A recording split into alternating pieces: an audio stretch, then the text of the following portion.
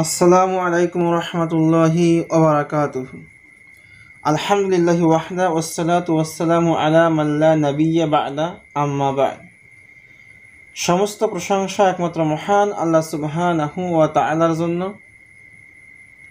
আলহামদুলিল্লাহ দরুদ জ্ঞাপন করি মোহাম্মদ সাল্লাল্লাহু আলাইহি ওয়াসাল্লামের প্রতি আল্লাহুম্মা সাল্লি আলাইহি আল্লাহুম্মা বারিক আলাইহি সম্মানিত উপস্থিতি, সম্পূর্ণ কোরআনের অনুবাদমূলক দার্সের আজকে আমরা নবমতম পর্বে উন্নত হয়েছি, উত্তীর্ণ হয়েছি। ইনশাল্লাহ আল্লাহ সুবাহ তাআলা যদি আমাকে তাফিক দান করে নিয়মিতভাবে এই দার্স চালিয়ে যাওয়ার চেষ্টা করব। অমা তাফিকি ইল্লা বিল্লাহি আলাইহি তাওয়াক্কালতু ওয়া ইলাইহি হুনিব সম্মানিত উপস্থিতি, কথা নয়, আসুন আমরা মূল পর্বে প্রবেশ করি।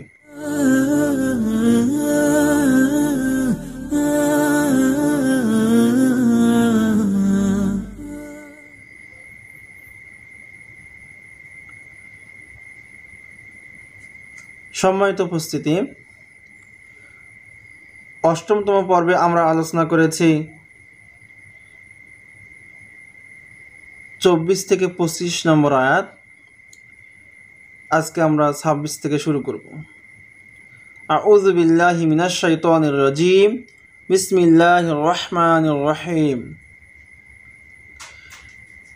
ইন্নাল্লাহা ইন্না মানে নিশ্চয়, আল্লাহ মানে আল্লাহ। ইন্নাল্লাহা নিশ্চয়, মহান আল্লাহ সুবহানাহু ওয়া তাআলা লা ইয়াস্তাহি লজ্জাবোধ করেন না, সংকোচ মনে করেন না। আইয়াজরিবা প্রদান করতে, মাসালান, উদাহরণ হিসাবে, মা বা ওজতান মশার। নিশ্চয়, মহান আল্লাহ তাআলা সংকোচ বোধ মনে করেন না, লজ্জা করেন না, উদাহরণ প্রদান করতে মশার, ফামা ফাওকাহা, কিংবা মশার চেয়েও ক্ষুদ্রতর কোনো প্রাণীর। অর্থাৎ আল্লাহ সুবাহানাহতালা মশা অথবা তার চেয়েও ক্ষুদ্রতর প্রাণীর দ্বারা উদাহরণ পেশ করাতে সংকোচবোধ মনে করেন না। লজ্জাবোধ মনে করেন না। ফাআম্মাল্লাযীনা, অতএব যারা আমানু ইমান এনেছে ফায়া আলামুন তারা জানে আন্নাহুল হক, যে নিশ্চয় এই উপমা হলো সত্য। হক মির রব্বিহিম। তাদের প্রতিপালকের পক্ষ থেকে। অর্থাৎ আল্লাহ সুবাহ নাহু আতলা যে উপমা দেন, সেটা মশারে হোক বা মশার সে নিম্নতর ক্ষুদ বা আরও ক্ষুদ্রতর ক্ষুদ্র প্রাণীর দ্বারা হোক, সেই উপমাগুলো দ্বারা যারা ইমানদার তারা জানে, তারা বুঝতে পারে যে নিশ্চয় এটা হলো তাদের রবের পক্ষ থেকে হক, সত্য। ওয়াম্মাল্লাদিনা আর যারা কাফারু, কুফরি করেছে, অবিশ্বাস করে, ফয়াকুলুনা, তারা বলে মাদা কি আরদা ইচ্ছা আল্লাহ আল্লাহ? মাদা আরদ আল্লাহ আল্লাহ কি ইচ্ছা করেন?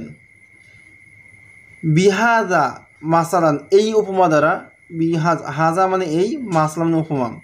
বিহাজা মাসালা এই উপমা দ্বারা আল্লাহ সুবাহ তালা কি উদ্দেশ্য? কি বোঝাতে চান? আর যারা কুফরি করে, অবিশ্বাস করে, তারা বলে, এই উপমা দ্বারা আল্লাহ সুবাহ কি বোঝাতে চান? তার কি উদ্দেশ্য? এরপর বলা হচ্ছে, ইউজিল্লু বিহি। আল্লাহ সুবাহ এই উদাহরণগুলোর দ্বারা পদভ্রষ্ট করেন কাসিরন অনেক ব্যক্তিকে। ওয়াহাদি বিহি এ আর এই উপমা দ্বারাই আল্লাহ হেদায়তের পথ প্রদর্শন করেন কাসিরান অনেক ব্যক্তিকে। ওয়ামা ইউজিল্লু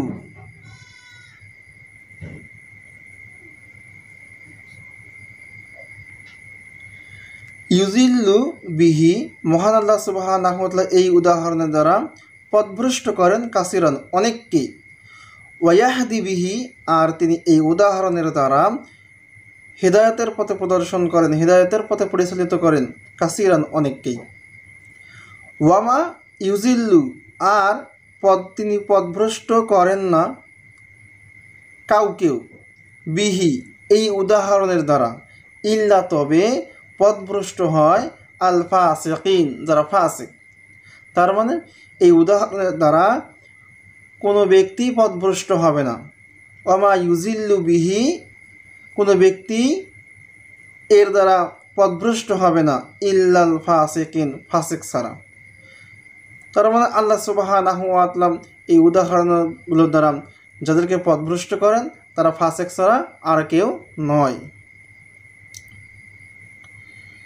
এরপরে আয়াত আল্লাদিনা যারা ইয়াংকুজুনা ভঙ্গ করে। আহদাল্লাহ আহদা মানে অঙ্গীকার, আল্লাহ মানে আল্লাহ।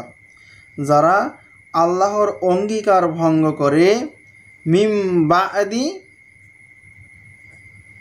মিম মিন মানে থেকে বা আদি মানে পর। মিম বা আদি পরেও। মিম বা আদি মি থাকিহি অর্থাৎ তার সাথে অঙ্গীকার করার পরেও যারা তার কৃত অঙ্গীকার ভঙ্গ করে ওয়াক তউনা আর তারা ছিন্ন করে, মা আমার আল্লাহ যা আল্লাহ আদেশ করেন বিহি। এর দ্বারা সলা। তাহলে এই যে আইয়ু সলা যুক্ত করা, মিলিত করা। অর্থাৎ এখানে আত্মীয়তার সম্পর্ককে বোঝানো হয়েছে।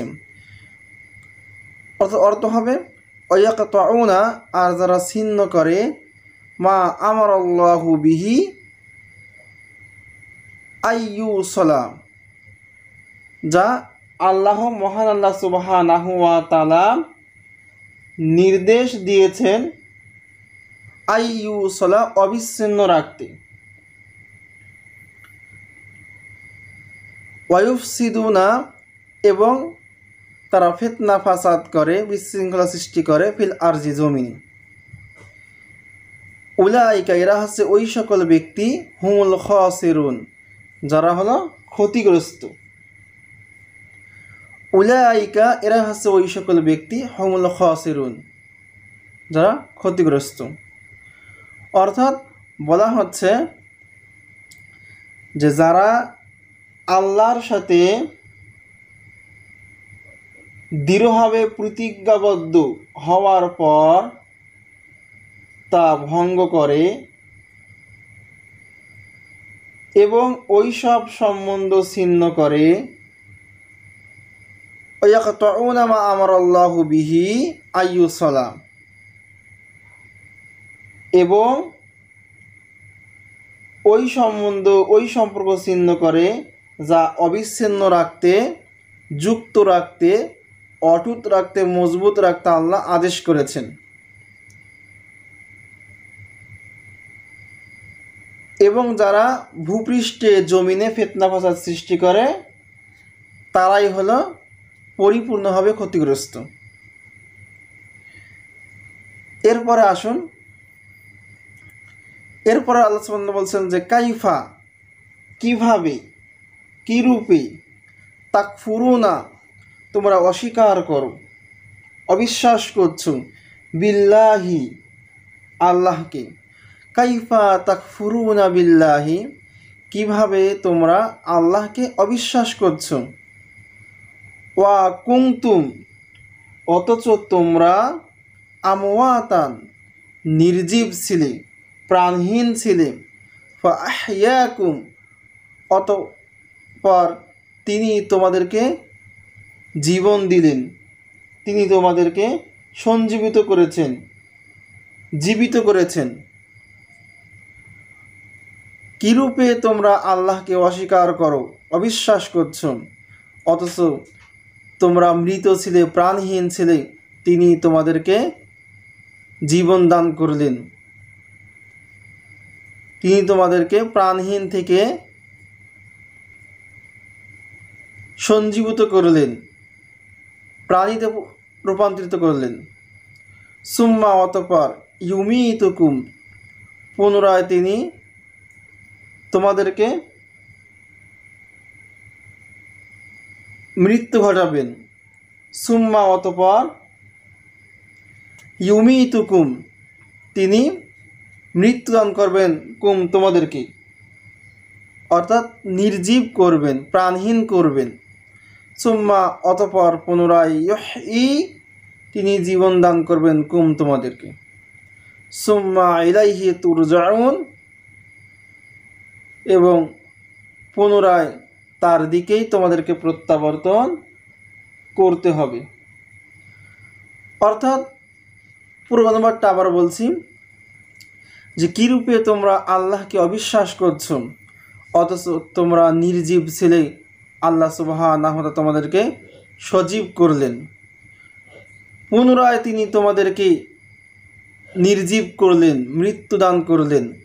অতপর পুনরায় তিনি তিনি তোমাদেরকে জীবিত করলেন।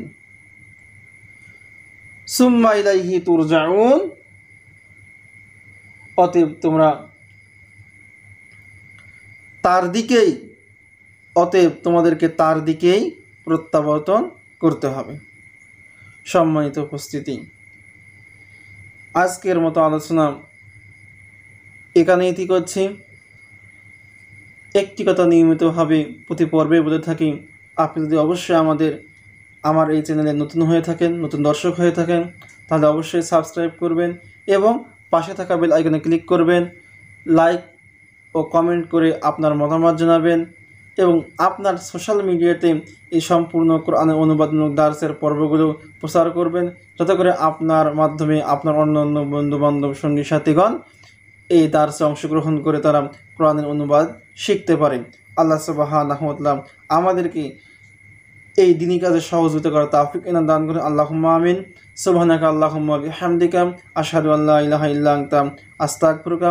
অতবিলাইক আসসালামু আলাইকুম ওয়া রাহমাতুল্লাহি